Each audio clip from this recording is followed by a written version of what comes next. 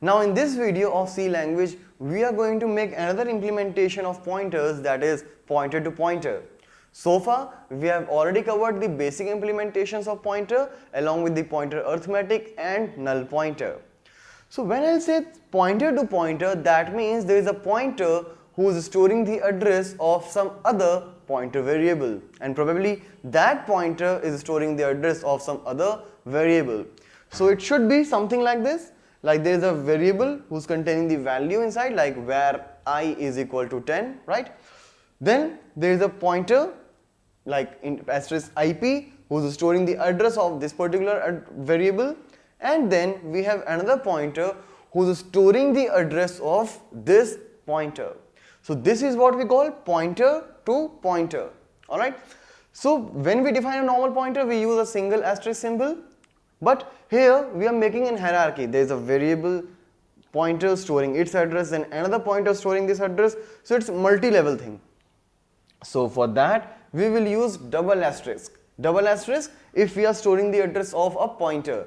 If I want to store address of this pointer, I will define another pointer to pointer with three asterisks and so on. It can go to nth level.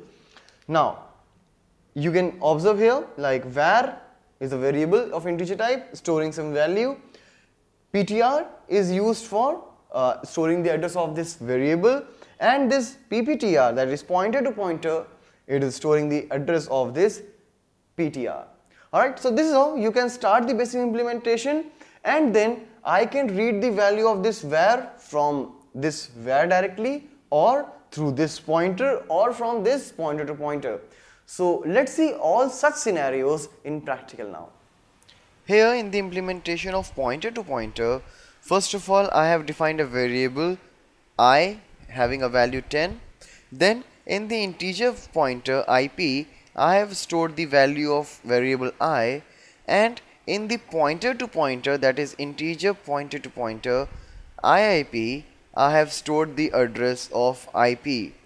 Now this is the hierarchy. Like i is a variable ip is containing the value of i and iip is storing the value of ip so here you can see i have printed three messages. Let's see deeply what is the meaning. So first of all in the first statement i am printing the address of i. So for that i can print that as ampersand i. Alright that will represent the address of i. Later I have printed the value of IP means the value which is stored by this pointer. So pointer is has stored nothing but the address of i. So here you will get the same value which I have printed here because the address of IP address of i and value stored by IP both will be same. Now in the third message what is there value at address of IIP let me remove this one.